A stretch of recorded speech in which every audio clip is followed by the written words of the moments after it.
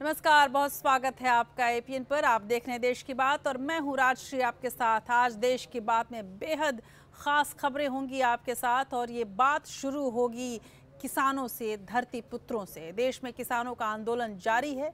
अपनी मांगों को लेकर किसान कल देश के सभी राष्ट्रीय राजमार्ग जाम करेंगे, जबकि 21 जून को देश में किसानों ने चक्का जाम का ऐलान किया है। गौरतलब है कि 21 जून को ही प्रधानमंत्री मोदी ने योग दिवस के रूप में मनाने का फैसला किया है और वो हर साल मना रहे हैं। ऐसे में किस पर कौन भारी पड़ेगा, देखना होगा। आंदोलन के बीच किसानों की खुदकुशी का सिलसिला भी जारी है, जो दुखद है। और हम आज इसी बात की पूरी रिपोर्ट आपके सामने रखेंगे कि किसान आखिर क्या चाहते हैं और किसानों का दर्द क्या है। आज उत्तर प्रदेश के कौशाम्बी और कानपुर से कर्ज में दबे किसानों की आत्महत्या की खबर आई तो मध्य प्रदेश के होशंगाबाद और शिवपुरी में भी एक किसान ने खुदकुशी कर ली। राष्ट्रपति चुनावों की सरगर्मियाँ तेज हो गई हैं, इस पर भी हमारी नज़र है।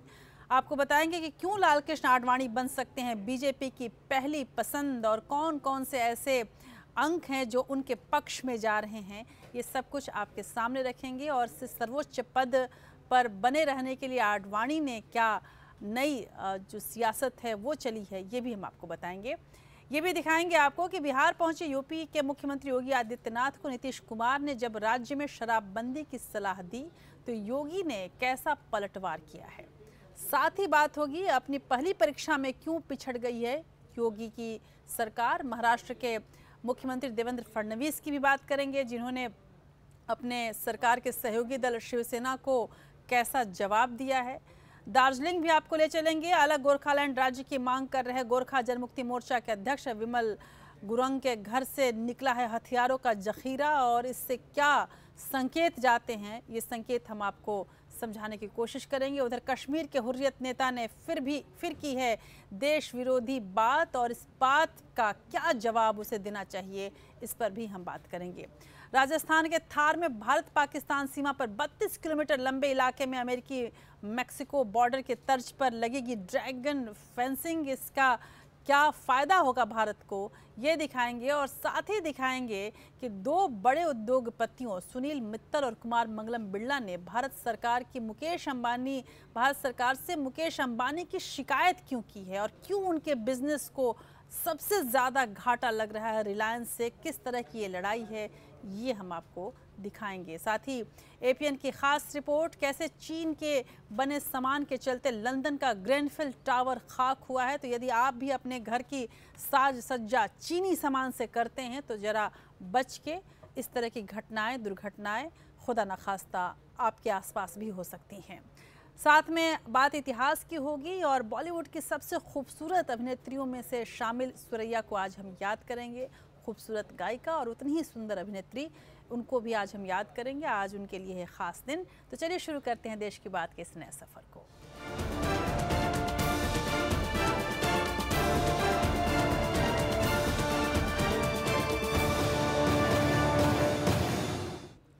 एक तरफ़ कर्ज माफ़ी को लेकर किसानों का आंदोलन तेज होता जा रहा है तो दूसरी ओर किसानों की आत्महत्या का सिलसिला भी थमता नज़र नहीं आ रहा है। उत्तर प्रदेश में दो किसानों की आत्महत्या ने सरकार के दावों को कटघरे में खड़ा कर दिया है। उप मुख्यमंत्री केशव प्रसाद मौर्य के गृह ज़िले कौशाम्बी और कानपुर में कर्ज से परेशान दो किसानों ने आत्महत्या कर ली। और ये दोनों ही आत्महत्याएँ इस बात की पोल खोल कर रख चुकी हैं कि आखिर सरकार किसानों के दर्द को लेकर कितनी संवेदनशील है। सवाल इस बात को लेकर उठ रहे हैं कि आखिर किसानों की हालत कब सुधरेगी? कब किसान खुशहाल होगा और कब आत्महत्याओं का ये सिलसिला थमेगा? इन तमाम सिलसिलों के लिए जिम्मेदार कौन है? देखिए इस खास रिपोर्ट में। किसान आंदोलन की आग बढ़ती जा रही है। कर्ज माफ़ी और अपनी फ़सलों का उचित मूल्य निर्धारण करने समेत कुछ और मांगों को लेकर किसान का आंदोलन तेज होता जा रहा है। मध्य प्रदेश में पुलिस फायरिंग में हुई किसान की मौत के बाद देश की राजधानी दिल्ली में किसान संगठनों की बैठक में 16 जून को पूरे देश में हाईवे पर जाम लगाकर सरकार के प्रति विरोध दर्ज कराने का फैसला लिया गया। उससे पहले कई राज्यों में किसानों ने धरना प्रदर्शन कर अपनी आवाज़ बुलंद की। तो वहीं दिल्ली के जंतर मंतर पर भी किसानों का प्रदर्शन जारी है। देखो, देश का किसान दुखी है। जब ही यहाँ पे दिल्ली में आ रहा है, गर्मी में धूप में बैठा हुआ है तो उसको दिक्कत है। वो आत्महत्या कर रहा है। उसके सामने दो ही रास्ते हैं तो वो आंदोलन करेगा या आत्महत्या करेगा। तो उसने आंदोलन का रास्ता चुना है। आंदोलन होगा। हमारी जो डिमांड है, वो माननी पड़ेगी। उत्तर प्रदेश में सरकार के कर्ज माफ़ी के ऐलान के बाद भी हालात कुछ खास नहीं बदले। उप मुख्यमंत्री केशव प्रसाद मौर्य के गृहनगर, कौशाम्बी में एक और कानपुर में एक किसान की खुदकुशी ने एक बार फिर सरकार की ओर से राहत पहुँचाने के दावों की पोल खोल दी है। कौशाम्बी में आलू की फ़सल की खरीदी न होने से परेशान किसान राम बाबू द्विवेदी ने मौत को गले लगा लिया। बताया जा रहा है कि सिर्फ़ अड़तीस हज़ार रुपए का कर्ज था राम बाबू पर, जिसकी वसूली को लेकर सहकारी समिति की तरफ़ से लगातार दबाव बनाया जा रहा था। सोसाइटी में लिए थे, किसान और ग्रामीण बैंक सैनी में लिए थे, देवीगंज स्टेट बैंक में लिए थे, दो तीन बैंक में लिए थे, भारी कर्ज था उसमें। अब आलू बोए थे पाँच छः बीघे। वो सब खराब हो गया। इसी कारण उन्होंने इन्होंने अपनी तहरीर दी जिसमें बताया कि बैंक का कर्ज होने की वजह से इन ये काफ़ी डिप्रेशन में रहते थे परेशान थे जिसकी वजह से ऐसा कृत्य किया है। पंचायतनामा कर दिया गया है पीएम के लिए डेड बॉडी भेज दी गई है और वैधानिक कार्रवाई की जा रही है। किसानों की आत्महत्या का सिलसिला यहीं पर नहीं रुकता।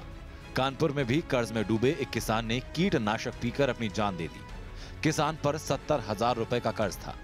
वसूली का दबाव इतना कि उसकी साइकिल तक छीन ली गई। फ़सल बर्बाद होने और तगाद गिर के दबाव के आगे बेबस इस किसान ने अपनी जान देना ज़्यादा मुनासिब समझा। कितने का कर्जा था? वही करीब था सत्तर अस्सी हज़ार का कर्जा था। क्या वजह रही उन्होंने इस तरीके घटना इस तरीके से जहर दिया है? लोग अपना कर्जा मांग भी रहे थे उनके पास में पैसे थे भी नहीं और उनके घर की स्थिति बहुत ज़्यादा ख़राब है कि कभी होता है खाने को कभी नहीं होता है। और वो सोच रहे थे कि हम कैसे इनका कर्जा देंगे और वो लोग मांग भी रहे थे जिनका कर्जा था। इसलिए उन्होंने आ, ये कदम उठाया। संकल्प पत्र में खुद को किसान हितैषी दर्शाने वाली योगी सरकार ने कदम कदम पर किसान की बदहाली का रोना रोते हुए उसके आँसू पोछने का राग अलापा। 24 घंटे बिजली का वादा किया लेकिन शर्त लगा दी कि पहले बिजली चोरी रोके। केंद्र की तरफ़ से किसान बीमा योजना लागू की गई, लेकिन कितने किसानों को फ़ायदा हुआ, आंकड़े आईना दिखा रहे हैं। सरकार गठन के एक महीने बाद हुई पहली कैबिनेट मीटिंग में योगी सरकार ने किसान के कर्ज तो माफ़ किए, लेकिन नोटिफिकेशन आज तक जारी नहीं हुआ। आलू खरीद केंद्र की भी बात की गई, लेकिन वो कितना कारगर हुआ, इसकी तस्दीक उप मुख्यमंत्री के गृह ज़िले में हुई किसान बाबूराम द्विवेदी की खुदकुशी कर रही है। सवाल ये है कि सीमित कमाई के सहारे जीवन यापन करने वाला किसान कब तक यूँ ही सफ़र करता रहेगा? एक फ़सल बर्बाद होने पर बेटी को ना ब्याह पाने का दंश किसान कब तक झेलता रहेगा? सरकारी वादों का मुँह तकता किसान, साहूकार की गालियाँ, बैंक की धमकियाँ, सूखे खेत और भूखी औलाद को देखकर कब तक आत्महत्या करता रहेगा? लेकिन यह भी सच ही है कि सियासत के पैबंद बांधे, हुक्मरानों की नज़रें इनायत ना हो तो लाचार, बेबस किसान आत्महत्या के अलावा और कर भी क्या सकता था? खुदकुशी को उसकी मंजूरी भले ही ना हो, लेकिन मजबूरी ज़रूर है। कानपुर से शिवा शर्मा और कौशाम्बी से राकेश सोनकर के साथ ब्यूरो रिपोर्ट एपीएन तो ये कहानी केवल उत्तर प्रदेश की नहीं है। मध्य प्रदेश में भी कुछ ऐसी ही कहानी हुई। मध्य प्रदेश के होशंगाबाद और शिवपुरी से भी किसानों की खुदकुशी की खबर आई। किसानों के नाम पर सियासत भी गरमाई हुई है। शिवराज सरकार जहाँ किसान आंदोलन से हुए नुकसान की भरपाई में लगी है तो वहीं कांग्रेस किसी भी कीमत पर इस मुद्दे को छोड़ना नहीं चाहती। इन सब के बीच जिस किसान के लिए ये सियासी युद्ध चल रहा है, वो अब भी आत्महत्या करने को मजबूर है। नेता अपनी राजनीति में मस्त हैं और देश का निदाता भगवान की भेंट चढ़ रहा है। किसान आंदोलन की आज पर रोटी सेकने की सियासत में नेता इतने व्यस्त हैं कि इन्हें ना तो किसानों की आवाज़ सुनाई दे रही है और ना ही उनके दुख दर्द का इन पर कोई असर हो रहा है। वादों और दावों की राजनीति से ज़रूर गरीब और बेबस किसानों का पेट भरा जा रहा है। किसान आंदोलन से हुए नुकसान की भरपाई के लिए मुख्यमंत्री शिवराज सिंह चौहान मंदसौर में मंदिर के चक्कर लगा रहे हैं तो उनके सियासी दुश्मन और कांग्रेस नेता ज्योतिरादित्य सिंधिया भोपाल में बहत्तर घंटे के अनशन पर बैठे हैं और उधर होशंगाबाद में कर्ज के बोझ तले दबे एक और किसान ने आत्महत्या कर ली। बीस हज़ार दे रहे थे पचास लाए थे उससे। फिर भी ज़बरदस्ती कर रहे थे? ज़बरदस्ती करा था गेहूँ के लिए धान के लिए। हाँ। एक साल पहले लिया था।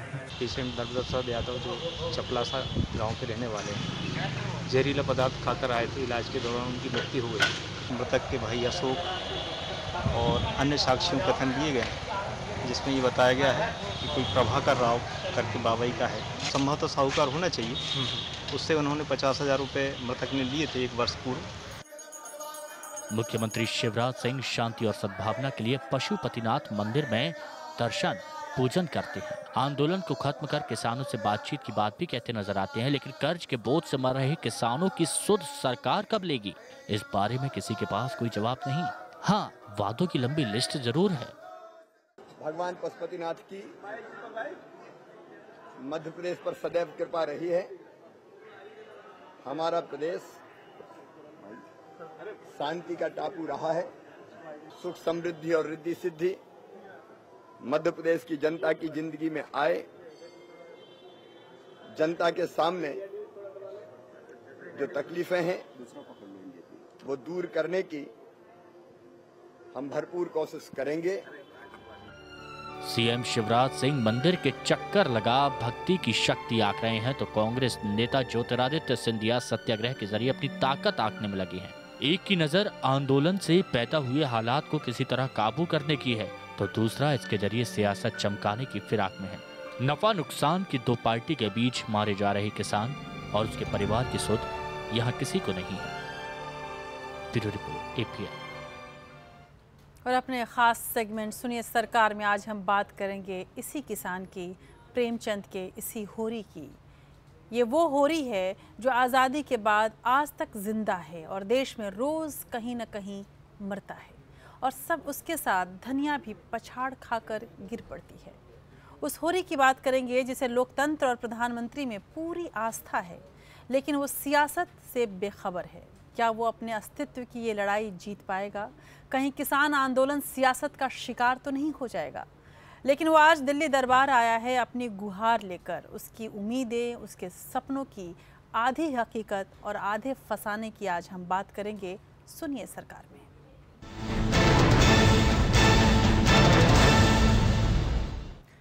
शुक्र है कि हम इतने संवेदनशील तो हैं कि जब भी हमारा कोई जवान सरहद पर गोली खाकर गिरता है तो हम सभी अपनी भुजाएँ फड़काते हुए खड़े हो जाते हैं।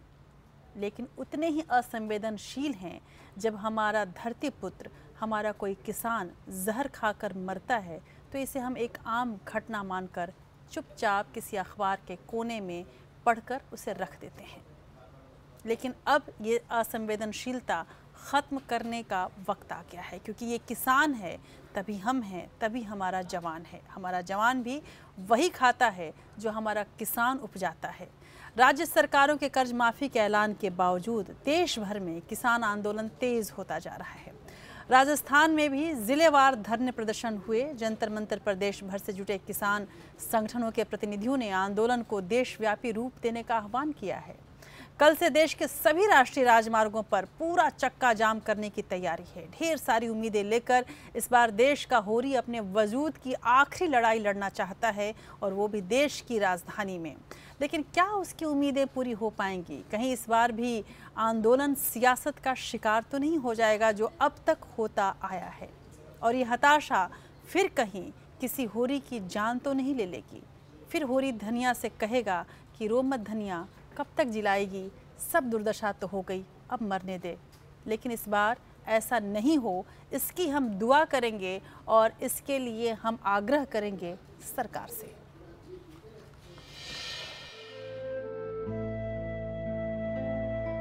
सरकार, तुम्हारे दिल्ली दरबार आया है होरी, अपने गाँव से। मीलों का सफ़र तय कर। तपती दोपहर में लू के थपेड़े झीलता। इसी उम्मीद के साथ कि सरकार के दरबार में देर है, अंधेर नहीं। उसकी आँखों में वही सपने हैं, जो कई बरस पहले अच्छी फ़सल होने के बाद नाजो से पाली अपनी सयानी होती बिटिया को देखकर उसके सामने तैराए थे। उसे लगा कि इंद्र महाराज साक्षात आ गए हैं। मेघराज, इतना बरसने वाले हैं कि बिटिया की शादी धूमधाम से हो जाएगी, लेकिन उम्मीदों के बादल गरजे, लेकिन बरसे नहीं, चले गए झांसा देकर। अब वो पथराई आँखें लेकर तुम्हारे दिल्ली दरबार आया है। उसे तुम्हारी गरज परत से बहुत आस है। तूने उसे वही ख्वाब दिखाए थे आम चुनाव से पहले, कि उसे लगा था कि इस बार वो गोदान की अपनी इच्छा पूरी कर अपनी मर्जात बचा लेगा। कहा था ना तुमने कि पिछली सरकारों को किसानों से कोई हमदर्दी नहीं है? किसान को आत्महत्या करने की नौबत ना आए। हमारे किसान को कर्ज लेना ना पड़े, साहूकार के घर जाना ना पड़े। क्या सरकार की बैंक की जिम्मेवारी नहीं है कि किसान को कर्ज दे? कम से कम ब्याज से कर्ज दे। और किसान ऐसा है, पाई पाई लौटा देता सरकार, तुम्हारे दिल्ली दरबार आया है उरी वो बैठा है धरने पर। तमाम नेता भाषण दे रहे हैं। ईट से ईट बजा देने की बात कह रहे हैं। लेकिन वो जानता है कि किसान कितना मजबूर है। गोबर शहर भाग आया है। कहीं मजदूरी कर रहा है।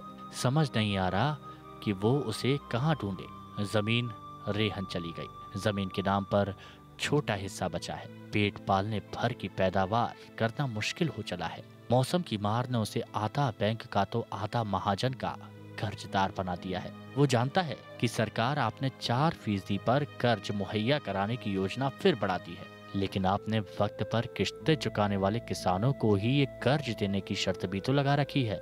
चार फ़ीसदी पर तो बड़ी जोत वाले बाबू साहेब लोगों को ही कर्ज मिलेगा, जो अच्छे दाम के लिए दूर दराज की मंडी अपनी फ़सल ले जा सकते हैं, कोल्ड स्टोरेज में रख सकते हैं। आपकी सरकार तो अब उसे किसान भी मानने को तैयार नहीं। पटवारी की वजह से उसकी ज़मीन तक अभी उसके नाम नहीं चढ़ पाई है। खेती हर मजदूर पर सरकार ने कभी तरस नहीं खाया है। गोबर, और उसमें सिर्फ़ इतना सा फ़र्क बचा है कि गोबर शहर का मजदूर है तो दूसरों के खेत में मजदूरी करता है। फिर भी उसे आपसे बड़ी उम्मीदें हैं। आपने विकास की बात की थी। आपने उसे 2022 तक दोगुनी कमाई का सपना दिखाया था। लेकिन फिर आपने सुप्रीम कोर्ट में पैदावार मूल्य को 50 फ़ीसदी बढ़ाने से क्यों इनकार कर दिया था? लेकिन उसकी आस्था है। वो भगवान आपको मानता है। वो भगवान से सवाल नहीं करता। वैसे भी सवाल करना आपको पसंद नहीं है। आपने अपने सांसदों को भी तो एक बार सवाल न उठाने की नसीहत दी थी। होरी का वादा है कि उसने धर्म, मर्जात से जुड़े सवालों को खुद ही जवाब दे दिया। किसी को ज़ाहिर नहीं किया। सरकार, बहुत बोला है आपका होरी। जमींदार तो नहीं रहे, लेकिन महाजनों के राज में जीने को अब भी वो मजबूर है। सरकारी कर्मचारी, पटवारी, पुलिस, पुरोहित, दुआर पर किसी के सत्कार में कभी कभी नहीं रखता। भले ही धनिया पड़ोस से मांग कर लाती हो, लेकिन सरकार जानते हैं, वो बहुत अकेला है। दिखने तो जंतर मंतर से लेकर जिलों के मुख्यालयों पर होरियों की भीड़ नज़र आती है, लेकिन है वो निपट अकेला। वो लड़ने नहीं आया अन्नदाता। वो मांगने आया है अन्नदाता। याद है तूने ही तो उसे अन्नदाता कहा था एक बार? सरकार, तुम्हारे दिल्ली दरबार आया है, तुम्हारा अन्नदाता होरी। लेकिन कभी पूछा कि पेट भर अन्न खाए उसे कितने महीने हो गए? जब कभी ठाकुर या बामन टोले में बेटी की शादी में पांत के आखिर में उसे दोनों पत्तल में पेट भर जीमने का मौका मिलता है, तब वो छक कर खाता है। दूसरों के लिए अनाज उगाता है। कभी अधिया तो कभी बटाई पर तो कभी मजदूरी कर। सरकार, बड़े उद्योगों और स्मार्ट सिटी के लिए सरकार की फालतू जमीनें देने बजाय उसके जैसे होरियों को ज़मीन क्यों नहीं बांट देते? उसकी पीढ़ियाँ जय जयकार करेंगी। लेकिन आपकी चुनावी सियासत की अपनी मजबूरियाँ हैं।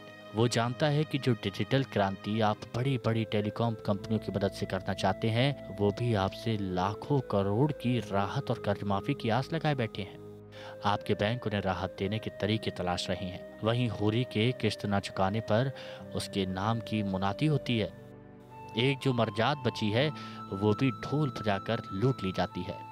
मुल्क के कुल कर्ज का चौथा हिस्सा दबाए बैठे दर्जन भर भीड़ियों के नामों का खुलासा करने से सुप्रीम कोर्ट में आपकी सरकार ने ही इनकार कर दिया था। गाँव के कर्जदारों में होरी का नाम चौपाल पर ही टांग दिया गया है। गरीब की बिटिया की शादी में एक ये भी तो रोड़ा है।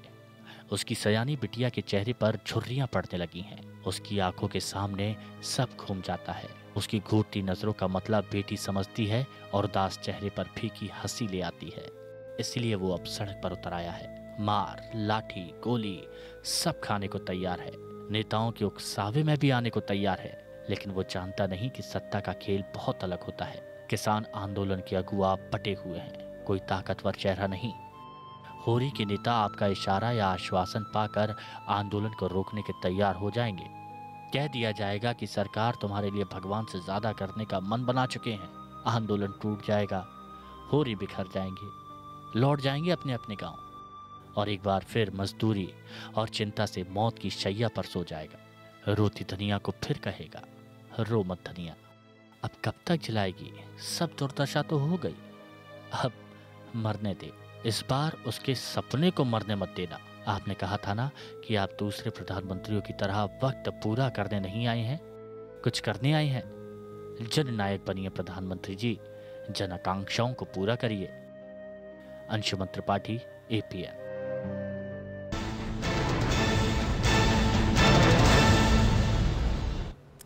ये एक लंबी रिपोर्ट थी और मुझे लगता है कि किसानों का जो दर्द है, उसके लिए वक्त भी बहुत कम ही था। गोदान जिसने भी पढ़ा होगा और जिसने भी होरी और धनिया के दर्द को समझा होगा, वो किसानों के दर्द को ज़रूर समझता होगा। उसी के तर्ज पर ये रिपोर्ट लिखी गई ताकि हम और आप समझ सकें कि आखिर हमारा अन्नदाता किस हाल में है?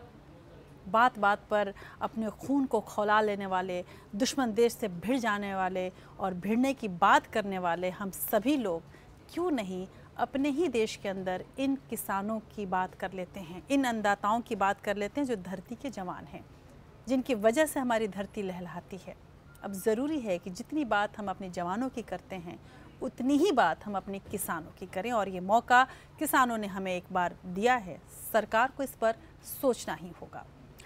सरकार इस पर सोचे न सोचे, लेकिन सरकार और ढेर सारे मुद्दों पर ज़रूर सोच रही है। दिल्ली की सियासत इन दिनों गर्म है। दिल्ली की सियासी गलियों में राष्ट्रपति पद के चुनाव के लिए गहमा गहमी तेज हो गई है। विडंबना ही है कि धरती पुत्र से लेकर हम सर्वोच्च पद की बात एक साथ कर रहे हैं। एनडीए की कमेटी घटक दलों और विपक्ष के नेताओं से अलग अलग चर्चा के दौर जारी हैं। कयासों का बाज़ार गर्म है। विपक्ष में एकजुटता की कोशिश के बावजूद दरारें साफ़ दिख रही हैं। तो एनडीए भी किसी प्रत्याशी पर एक मत नज़र नहीं आ रहा है। इन सब के बीच बीजेपी के मार्गदर्शक मंडल के सदस्य और वरिष्ठ नेता लाल कृष्ण आडवाणी का नाम खासा चर्चा में है और इस नाम को सबसे पहले एपीएन ने आपके सामने रखा था।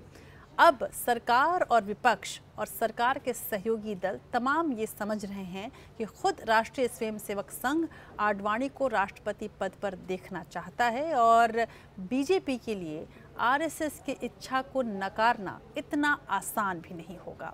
यदि आडवाणी की बात करें तो उनकी निजी ताकत अब भी बेहद है ताकि वो इस सर्वोच्च पद को अपने पास रख सकें। आडवाणी की ताकत और इससे जुड़ी सियासत। दोनों देखिए इस रिपोर्ट में। बीजेपी नेता शत्रुघ्न सिन्हा ने लाल कृष्ण आडवाणी को राष्ट्रपति पद का सबसे बेहतरीन प्रत्याशी बताकर बीजेपी में एक बार फिर खलबली मचा दी। समझा जा रहा है कि बाबरी मस्जिद विध्वंस मामले में आरोप तय होने के बाद आडवाणी इस दौड़ से बाहर हो चुके हैं। प्रधानमंत्री मोदी ने भी सोमनाथ की बैठक में आडवाणी को गुरु दक्षिणा में राष्ट्रपति बनाने की बात कही थी।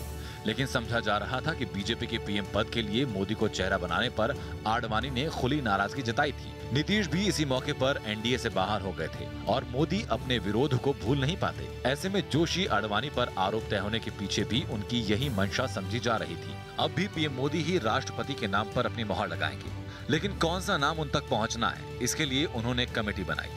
इस कमेटी में वेंकैया नायडू, राजनाथ सिंह और अरुण जेटली हैं। कभी ये तीनों आडवाणी के सलाहकार माने जाते थे, लेकिन ये तीनों नेता पीएम की पसंद के खिलाफ जाकर किसी के नाम की सिफारिश कैसे कर सकते हैं? ऐसे में इस कमेटी के बहाने आडवाणी की अंतिम राजनीतिक इच्छा को दफन कर देना आसान होगा। लेकिन जानकार मानते हैं कि मोदी दूर की राजनीति करते हैं। आडवाणी को राष्ट्रपति पद पर बैठाकर पुरानी पीढ़ी को धकिया कर बाहर करने के आरोप को वो धो देना चाहते हैं। अपनी उदार छवि पेश करना चाहते हैं। साथ ही हिंदुत्व समर्थक वोट बैंक को भी ये संदेश देना चाहते हैं कि बाबरी विध्वंस का आरोप होने के बावजूद उन्होंने आडवाणी को राष्ट्रपति बनाया। आडवाणी का साथ देने को जेडीयू समेत कई विपक्षी दल तैयार हो सकते हैं। वहीं विपक्ष में अब भी एक राय नज़र नहीं आ रही। सीपीएम नेता सीताराम येचुरी, एनडीए उम्मीदवार के नाम के इंतज़ार के बगैर ही गोपाल कृष्ण गांधी को विपक्ष के प्रत्याशी के तौर पर ऐलान करने के पक्ष में हैं। गोपाल गांधी तृणमूल नेता ममता बनर्जी की भी पसंद है। लेकिन एनसीपी और टीएमसी बीजेपी के उम्मीदवार के ऐलान के बाद प्रत्याशी तय करने के पक्ष में है। एनसीपी का कहना है कि किसी मराठी उम्मीदवार का नाम अगर एनडीए सामने रखता है तो वो इससे इनकार नहीं कर सकते। यही शर्त ममता की भी है। कांग्रेस भी फूक फूक कर चल रही है। जोश में आकर तार ठोकने से साग को बट्टा लग सकता है, क्योंकि वो भी लालू यादव की तरह जानती हैं कि राष्ट्रपति तो पीएम मोदी की पसंद का ही होना है। संपर्क का कोई माने मतलब नहीं है। राष्ट्रपति अभी नरेंद्र मोदी के टेट में है अभी, उनकी असड़ी में है। उसमें से निकलेगा तो फिर देखा जाएगा, फिर हम लोग की बैठक होगी। बहरहाल, बीजेपी की बनाई समिति को महज औपचारिकता माना जा रहा है। ये कमेटी कांग्रेस अध्यक्ष सोनिया गांधी समेत विभिन्न पार्टियों के नेताओं से बात करेगी और अपनी रिपोर्ट बीजेपी अध्यक्ष अमित शाह को देगी। अमित शाह वही करेंगे जो मोदी चाहेंगे। लेकिन मोदी भला क्यों आडवाणी को राष्ट्रपति बनाकर अपने लिए मुश्किल खड़ी करना चाहेंगे? लेकिन समझा जा रहा है कि आरएसएस खुद आडवाणी को राष्ट्रपति पद पर देखना चाहता है, ताकि संघ की पुरानी परंपरा से जुड़े स्वयं सेवकों को संतुष्ट किया जा सके और कुछ हद तक पीएम मोदी को संदेश दिया जा सके कि संघी शक्ति कलयुगे। ब्यूरो रिपोर्ट एपीएन और अब बात करते हैं योगी आदित्यनाथ की। दरभंगा में बिहार के मुख्यमंत्री नीतीश कुमार के हमले का जवाब, यूपी के सीएम योगी आदित्यनाथ ने भी दरभंगा से ही दिया। उन्होंने एक एक करके कई हमले उन पर किए। योगी ने नीतीश कुमार और लालू यादव पर सवाल उठाया और कहा कि 2020 तक बिहार में बीजेपी की सरकार होगी, लेकिन योगी की सबसे बड़ी घोषणा यहाँ पर ये रही कि उन्होंने इस बात का ऐलान किया कि रामपुरी से जनकपुरी को एक साथ जोड़ा जाएगा। यानी कि रामलला की बात उन्होंने वहाँ भी की और साथ ही उन्होंने कहा कि जो राम का धाम है, उसको सीता के धाम से जोड़ना ही होगा, यानी जनकपुर से जोड़ना ही होगा और इसके लिए बीजेपी प्रयास करेगी। राम के साथ सीता की सियासत भी अब शुरू की योगी आदित्यनाथ ने। बहुत बार मुझे यहाँ प्रवास करने हैं, हर ज़िले में मुझे आना है और 2020 तक, जब तक बिहार में भारतीय जनता पार्टी का एक झंडा पटना विधानसभा में नहीं लहराएगा, तब तक हम लोगों को चैन से नहीं बैठना है। यूपी में बीजेपी की प्रचंड जीत से उत्साहित मुख्यमंत्री योगी आदित्यनाथ का दावा है कि 2020 तक बिहार में बीजेपी की सरकार होगी। मोदी सरकार के तीन साल पूरे होने के मौके पर दरभंगा में एक रैली को संबोधित कर रहे योगी आदित्यनाथ ने लालू यादव और नीतीश कुमार पर भी वार किया।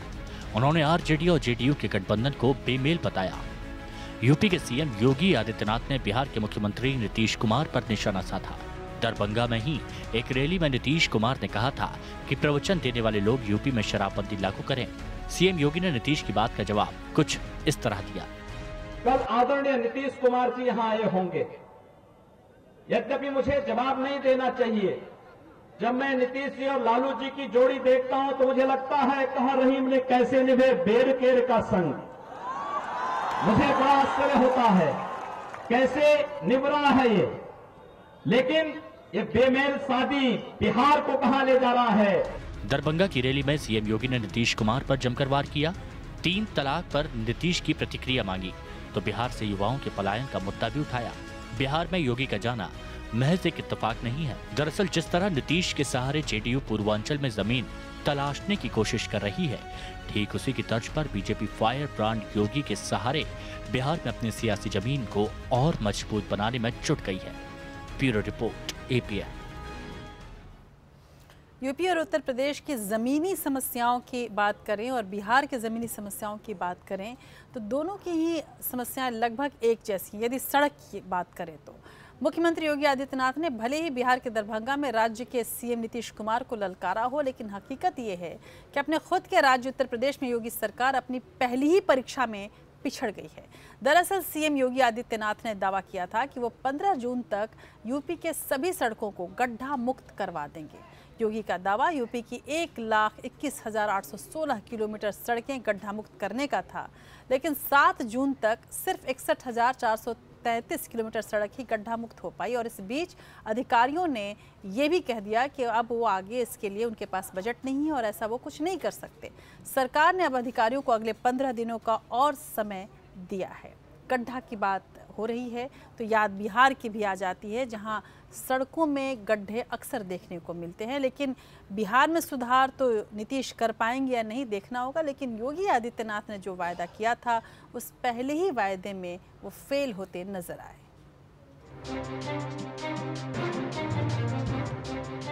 उत्तर प्रदेश में करीब ढाई महीने पहले सत्ता में आई योगी आदित्यनाथ सरकार का किया गया पहला वादा। फ़िलहाल अधूरा साबित हुआ है। सरकार ने 15 जून तक यूपी की सड़कों को गड्ढा मुक्त करने का दावा किया था। डेडलाइन पूरी हो चुकी है, लेकिन यूपी की सड़कों को गड्ढा मुक्त करने में योगी सरकार सफल नहीं हो पाई है। और मुझे आज इस बात के लिए प्रसन्नता है कि हमने लोक निर्माण विभाग की पचहत्तर हज़ार चौवालीस किलोमीटर सड़कों को गड्ढा मुक्त करने का काम पूरा कर लिया है। ये अपने आप में रिकॉर्ड है। एक नज़र अभी तक हुए काम पर। पीडब्ल्यूडी यानी लोक निर्माण विभाग पिचासी हज़ार नौ सौ बयालीस किलोमीटर सड़क में से सत्तावन हज़ार तीन सौ अठहत्तर किलोमीटर सड़क के गड्ढे भर पाए। उप मुख्यमंत्री केशव प्रसाद मौर्य के पास पीडब्ल्यूडी विभाग तो है, लेकिन गड्ढा भरने के लिए बजट नहीं। ज़रूरत साढ़े चार हज़ार करोड़ की है। और पीडब्ल्यूडी के पास सिर्फ़ 1250 करोड़ रुपए हैं। पंचायती राज विभाग को 3,890 किलोमीटर सड़क के गड्ढे भरने थे सिर्फ़ एक सौ इक्यानबे किलोमीटर के गड्ढे भरे। मंडी परिषद के जिम्मे दस किलोमीटर सड़क थी तीन महीने में सिर्फ़ आठ सौ बयासी किलोमीटर सड़क पर काम हुआ। गन्ना विभाग ने तीन हज़ार सात सौ सोलह किलोमीटर में सिर्फ़ तीन सौ चौतीस किलोमीटर सड़क ठीक की। सिंचाई विभाग तो नौ हज़ार छह सौ अड़सठ किलोमीटर सड़क में से एक किलोमीटर भी नहीं कर पाई। नगर निकाय और नगर निगम के जिम्मे 6,455 किलोमीटर सड़क थी। काम हुआ सिर्फ़ 909 किलोमीटर सड़क का। इसके अलावा एनएचएआई प्रधानमंत्री ग्राम सड़क योजना में भी सड़क ठीक करने का काम हुआ। इस तरह एक लाख इक्कीस हज़ार आठ सौ सोलह किलोमीटर में से अब तक सिर्फ़ इकसठ हज़ार चार सौ तैतीस किलोमीटर सड़क ही गड्ढा मुक्त हो पाई। ये आंकड़े सात जून तक के हैं। पंद्रह जून तक जितना काम होना चाहिए था, उसका बावन प्रतिशत काम ही हो पाया है। वहीं अब इस मामले पर सरकार की जवाबदेही भी बनती जा रही है और अब खुद सरकार के मंत्री ये मान रहे हैं कि 15 जून तक सड़कें गड्ढा मुक्त करना दूर की कौड़ी है। एक पैचवर्क वाला जो काम होता है अलग अलग तरीके के जो रोड्स होते हैं, एक पैचवर्क होता है। पैचवर्क का 100 परसेंट हो चुका है। पैचवर्क का मतलब 15 तक ही है ना तो तो हो ही रहा है। पैचवर्क का जो है, एक होता है कि आपकी रोड का जो होता है कुछ मीटर्स के होते हैं, उसको आपको न्यू फ्रेश लेइंग करनी पड़ती है। तो उसमें थोड़ी सी आ रही है दिक्कत। पंद्रह जून तक गड्ढा मुक्त हो जाएगा उत्तर प्रदेश। तो गड्ढा मुक्त हो गया। कोई काम नहीं। एक फावड़ा मिट्टी कहीं नहीं डाली। कोई विकास का काम किया नहीं। हालाँकि अब गड्ढों पर सरकार की हो रही किरकिरी देखते हुए यूपी सरकार ने अधिकारियों को 15 दिन का और वक्त दिया है उत्तर प्रदेश की सड़कों के गड्ढे भरने के लिए। 24 जून को योगी सरकार के 100 दिन पूरे हो रहे हैं और 100 दिन के कामकाज का रिपोर्ट कार्ड भी तैयार होने लगा है। खबर है कि खुद सीएम योगी उस दिन लखनऊ में एक प्रेस कॉन्फ्रेंस करेंगे। ऐसे में किसानों की कर्ज माफ़ी के बाद सबसे बड़े फैसले यानी सड़कों को गड्ढा मुक्त करने पर सवाल होंगे ही। अनामिका सिंह के साथ ब्यूरो रिपोर्ट, एपीएन, लखनऊ। और एक और खबर उत्तर प्रदेश से लेते हैं। अपनी ही सरकार में बीजेपी के एक विधायक, पुलिस प्रशासन से पस्त है। विधायक का आरोप है कि उनके लाख प्रयासों के बाद भी प्रशासन अवैध खनन को रोकने के लिए कोई कदम नहीं उठा रहा है। इतना ही नहीं जिला अधिकारी और दूसरे अधिकारी उनका फ़ोन तक नहीं उठाते हैं। बांदा के नरैनी से विधायक राजकरण कबीर का आरोप है कि पुलिस प्रशासन की मिली भगत से अवैध खनन का धंधा पूरे जोरों पर है। संघर्ष करो। भारतीय जनता पार्टी। योगी राज में कानून व्यवस्था पर सवाल सिर्फ़ विपक्ष नहीं उठा रहा। सत्ता में बैठे लोग भी कानून व्यवस्था की हालत से दो चार हो रहे हैं। अवैध खनन का मुद्दा यूपी में हमेशा से बड़ा रहा। योगी सरकार ने इस पर पूरी तरह से रोक लगाने के सख्त निर्देश दिए। लेकिन इन निर्देशों की हकीकत क्या है? ये खुद आप बीजेपी विधायक की जुबानी सुनेंगे। बांदा में अवैध खनन और ओवरलोडिंग के खिलाफ नरैनी से बीजेपी विधायक राजकरण कबीर ने अपनी ही सरकार के खिलाफ मोर्चा खोला। उन्होंने स्थानीय प्रशासन पर ओवरलोडिंग और अवैध खनन में मदद का आरोप लगाया। अधिकारियों को फ़ोन किया है नीचे से लेकर ऊपर तक।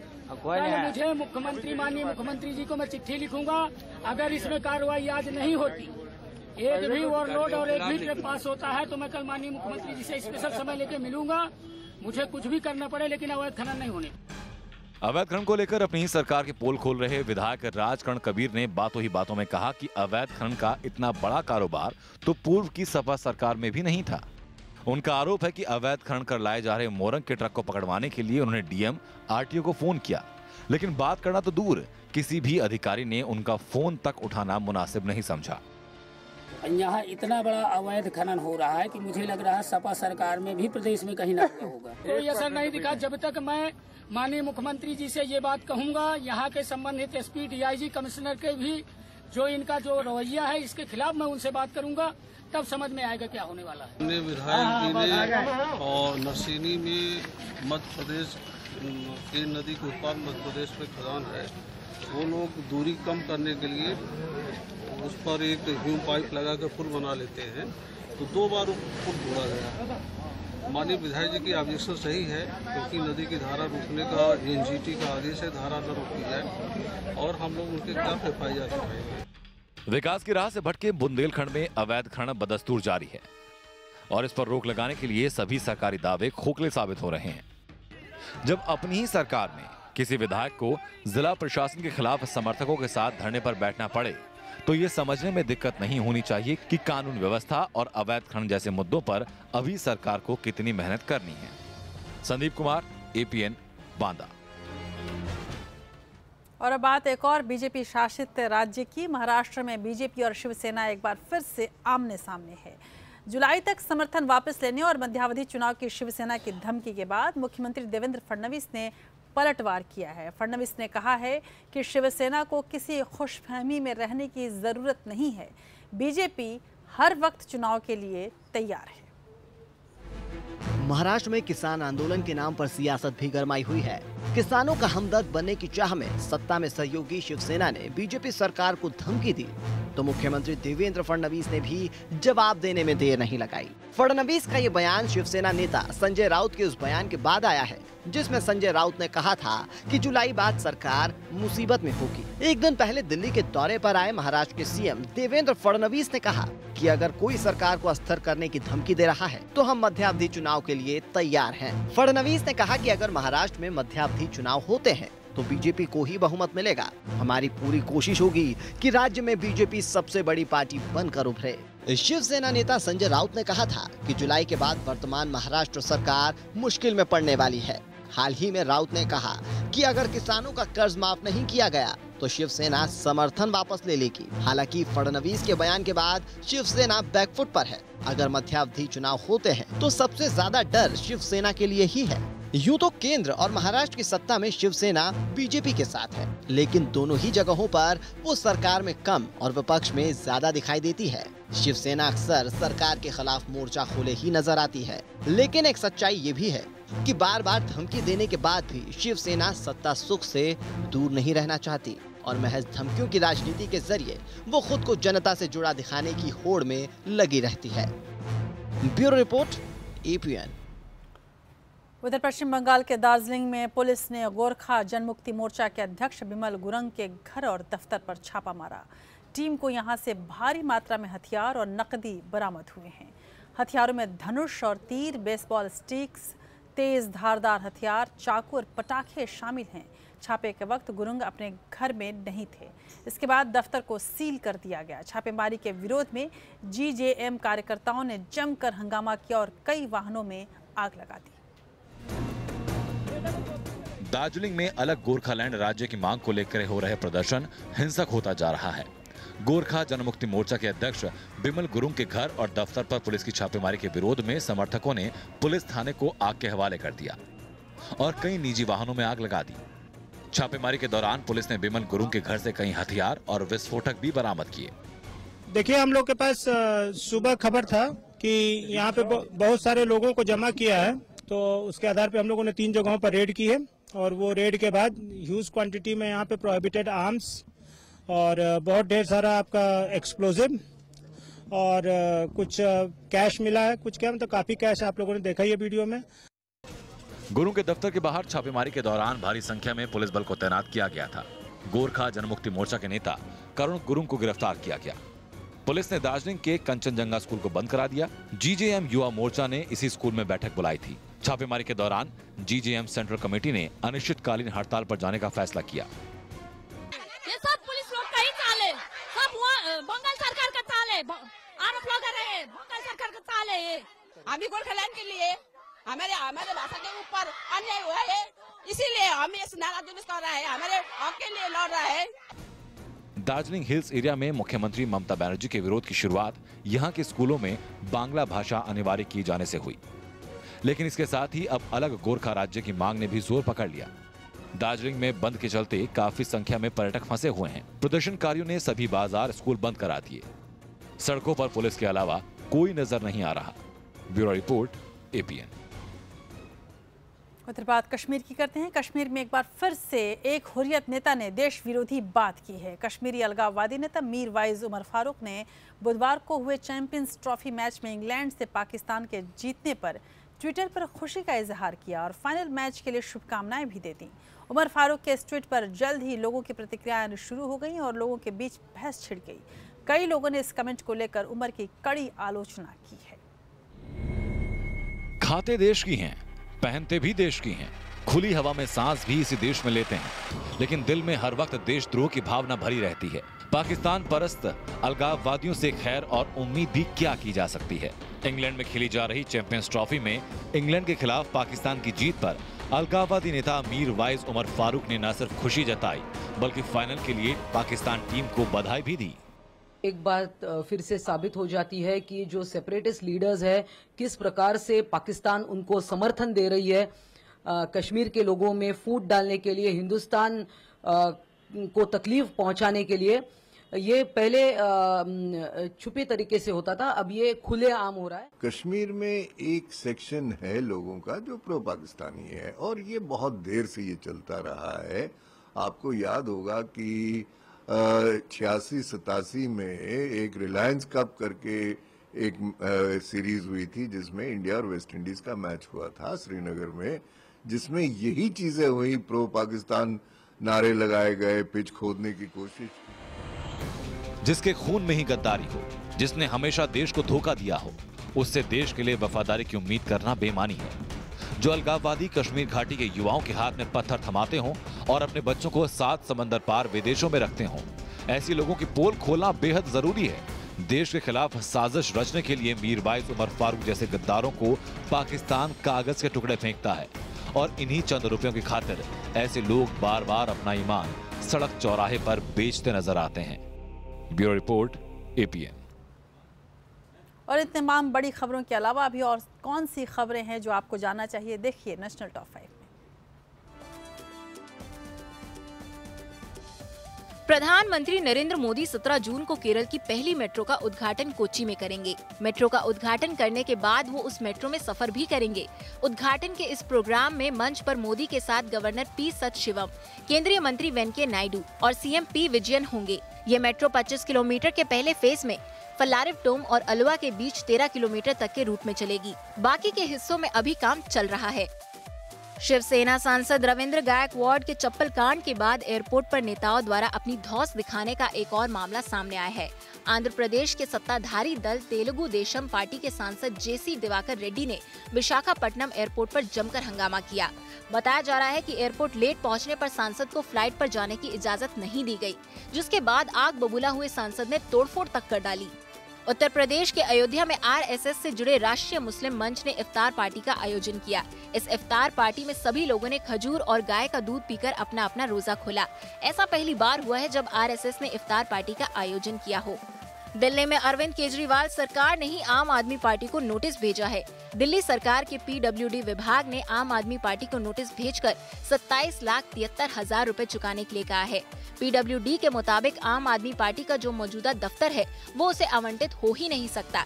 एलजी ने भी इस आवंटन को रद्द कर दिया है। ऐसे में आम आदमी पार्टी को इस जगह को दफ्तर के रूप में इस्तेमाल करने का किराया देना होगा। रक्षा मंत्रालय ने सेवा पूर्व सेवानिवृत्ति लेने वाले विकलांग सैनिकों और अधिकारियों को विकलांग पेंशन देने का आदेश जारी कर दिया है।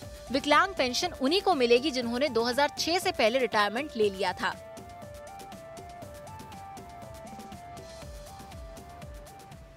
और भारत की सबसे बड़ी वायरलेस सेवा नियंत्रित करने वाले सुनील मित्तल और कुमार मंगलम बिरला जो वोडाफोन के साथ गठजोड़ करके भारत की दूसरी सबसे बड़ी टेलीकॉम ऑपरेटर बनना चाहते हैं इन दोनों ही उद्योगपतियों ने रिलायंस इंडस्ट्री के 4G नेटवर्क को भारतीय टेलीकॉम इंडस्ट्री के लिए बड़ा खतरा बताया है और रिलायंस की वजह से ये दोनों ही उद्योगपति बेहद परेशान हैं और सरकार से इस पूरे मसले पर हस्तक्षेप की मांग कर रहे हैं। सुनील मित्तल और कुमार मंगलम बिरला हाल में सरकार की इंटर मिनिस्ट्रियल समिति से मिले थे और उन्होंने कहा था कि रिलायंस धीरे धीरे तमाम उद्योगपतियों को खा जाएगा। सुनील मित्तल की भारतीय एयरटेल लिमिटेड हाल ही में मुकेश अंबानी के रिलायंस जियो के खिलाफ भारतीय प्रतिस्पर्धा आयोग, यानी सीसीआई में चल रहा मूल्य निर्धारित का मामला हार गई थी।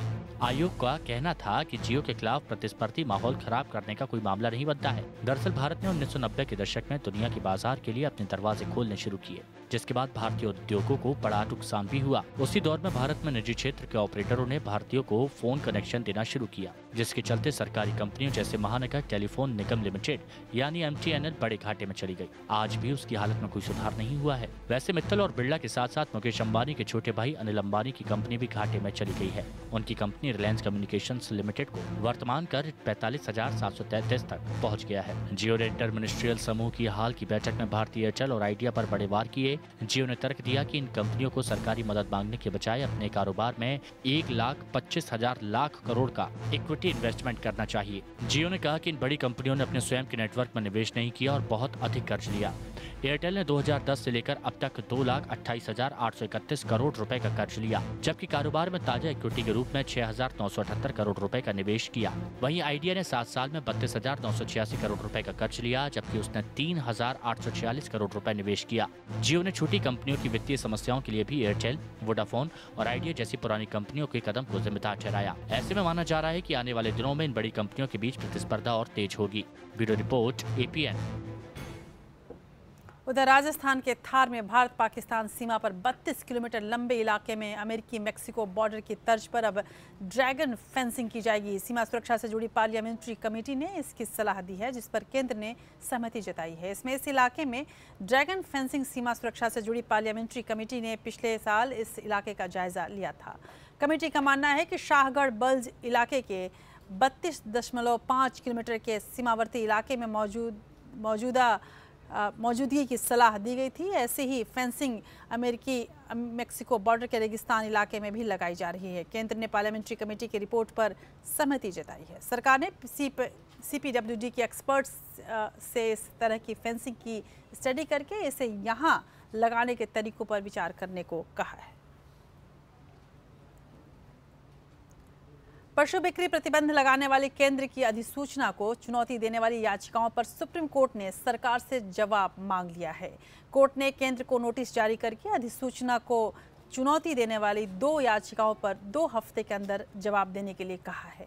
सुप्रीम कोर्ट मामले की सुनवाई 11 जुलाई को अब करेगा। वहीं केंद्र की तरफ़ से पेश हुए अतिरिक्त solicitor general P S Narasimha ने पीठ को बताया कि यह अधिसूचना जारी करने का मकसद देश भर के मवेशी बाजारों के लिए नियमन प्रणाली लाने का है। उन्होंने सुप्रीम कोर्ट से कहा कि मद्रास हाई कोर्ट ने अधिसूचना पर अंतरिम स्थगनादेश जारी किया है। कोर्ट में अधिसूचना को चुनौती देने वाली दो याचिकाओं में से एक में दावा किया गया है कि अधिसूचना के प्रावधान असंवैधानिक हैं क्योंकि वह अंतरात्मा की स्वतंत्रता, धर्म और आजीविका की स्वतंत्रता जैसे मूल अधिकारों का उल्लंघन करते हैं। केंद्र ने 26 मई को एक अधिसूचना जारी करके देश भर के मवेशी बाजारों में वध के लिए पशुओं का क्रय विक्रय किए जाने पर प्रतिबंध लगा दिया था। इधर इलाहाबाद हाईकोर्ट के लखनऊ बेंच ने लखनऊ विकास प्राधिकरण को फटकार लगाते हुए यूपी के पूर्व मंत्री गायत्री प्रजापति के अवैध निर्माण को 19 जून तक गिराने और इसकी रिपोर्ट पेश करने के आदेश दिए हैं। दरअसल, बुधवार को एलडीए ने गायत्री प्रजापति के अवैध निर्माण पर कार्रवाई का प्लान बनाया था, लेकिन बेटे अनुराग इसके खिलाफ हाईकोर्ट पहुँच गए थे।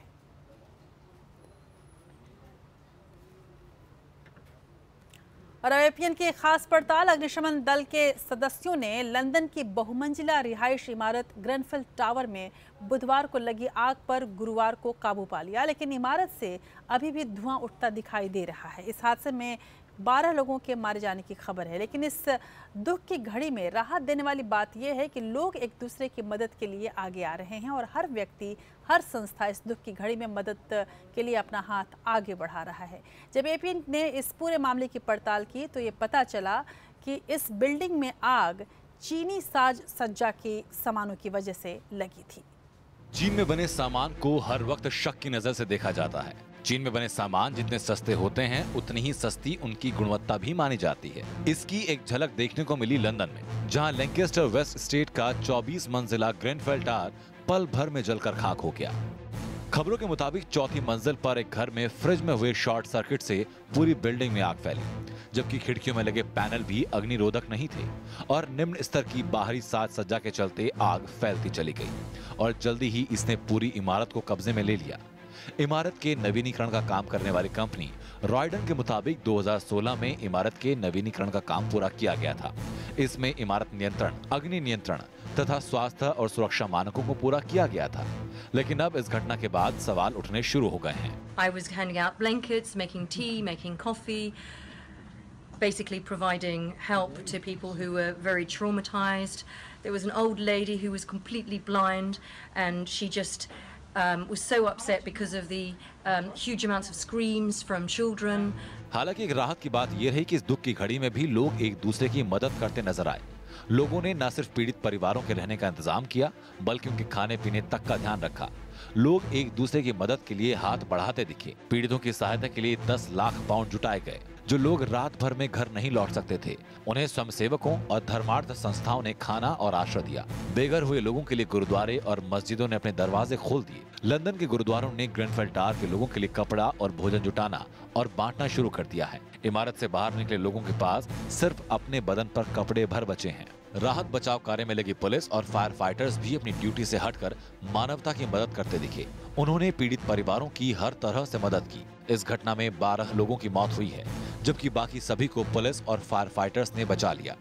ब्यूरो रिपोर्ट एपीएन और हमें भी ज़रूरी है कि अगर कुछ इस तरह की आपदा आए तो कुछ ऐसा ही जज्बा हम सभी दिखाएँ। आमतौर पर भारत में इस तरह का जज्बा नहीं दिखने को मिलता। बहरहाल, बात करते हैं देश की बात के अब आखिरी पड़ाव पर, देश और दुनिया के आज के इतिहास की।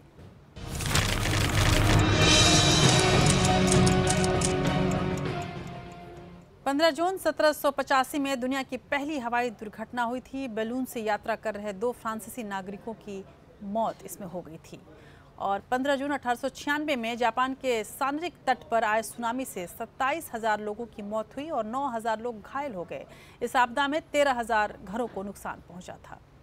और 15 जून उन्नीस सौ उनतीस में सुरों की मलिका और अदाकारा सुरैया का जन्म आज ही के दिन पंजाब के गुजरावाला शहर में हुआ था। 15 जून उन्नीस में आज ही के दिन स्विट्जरलैंड के बासेल शहर से यूरोपीय संघ फुटबॉल एसोसिएशन यूईएफए का गठन हुआ था।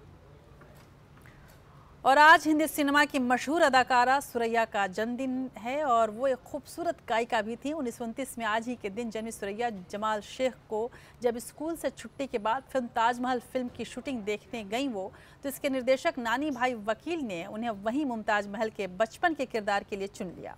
वहीं ऑल इंडिया रेडियो पर जब सुरैया की आवाज़ नौशाद साहब ने सुनी तो उन्होंने सुरैया से फ़िल्म शारदा के लिए गीत गवा लिया। तो इस तरह से सुरैया फिल्मी दुनिया की हिस्सा बनती गई और 50 के दशक की शुरुआत की सबसे महँगी हीरोइन थी, सबसे ज़्यादा फ़ी वो लेती थी। ऐसी हीरोइन जिनके घर के सामने फैंस की भीड़ लगा करती थी, जिसके दीवाने देवानंद थे। सुरैया अपनी भाव भंगिमाओं और अपनी अदाओं से वो सब कह देती थी, जो संवाद से कभी कोई कह नहीं पाता। देवानंद के साथ उन्होंने दो फ़िल्में जीत और दो सितारे की उसके बाद ताउम्र उन्होंने शादी नहीं की और मरीन लाइन्स के अपने फ्लैट में अकेली रहती थी। उन्हें बॉलीवुड की पहली ग्लैमर गर्ल कहा जा सकता है। उनके गाय गीतों में सोचा था, क्या मैं दिल में दर्द बसा लाई, तेरे नैनों ने चोरी किया और तमाम ऐसे गाने हैं, मिर्ज़ा गालिब में जो उनकी अदाकारी थी, वो बेहद खूबसूरत अदाकारी मानी जाती थी। सुरैया खूबसूरती, अदाकारी और गायकी का ऐसा तिलस्म थे जिससे निकलना बेहद मुश्किल था। तो आज सुरैया के कुछ खूबसूरत यादों के साथ हम आपको छोड़ जाते हैं। देश की बात में आज बस इतना ही। आप देखते रहिए एपीएन जहाँ खबरों का सिलसिला जारी है। नमस्कार।